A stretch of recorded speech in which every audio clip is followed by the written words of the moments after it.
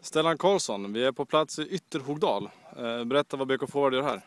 Eh, tar en dag innan vi ska till Östersund och laddar upp lite och ska sova här. Hur är stämningen och hur är stället vi bor på? Eh, det känns bra faktiskt. Stället känns riktigt bra och stämningen känns fantastisk.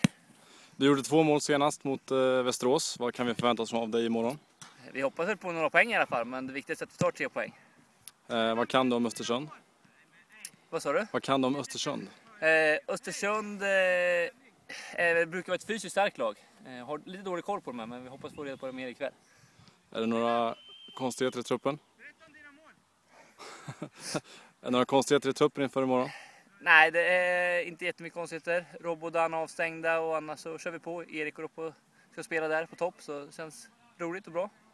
Eh, det var några som ropade att du ska berätta om dina mål. Kan vi få en eh, kort resumé hur du lite upplever dem? avundsjuk på att få rätt läckra mål sist. Att, eh, ett smalg med vänstern i taket och en eh, klack upp i nästaket. Så det är lite grinigt. Bra ställe. Jag får önska dig en trevlig kväll. Tack detsamma.